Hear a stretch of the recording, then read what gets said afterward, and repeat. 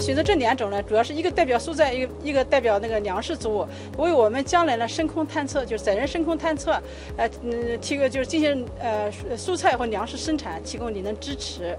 啊，我们这个水稻呢，呃，可以大家可以看到，呃，这个有两种，一种是这个高杆啊，这个杆比较高，一个是这个矮杆。就是说，高杆跟矮杆呢，在嗯我们地面的生产当中呢，它对那个粮食的这个产量影响还是比较大的。所以我们这次希望在空间能够在呃完成了这个水稻从种子到种子整个过程的比较，这两种不同类型的水稻它的生长情况。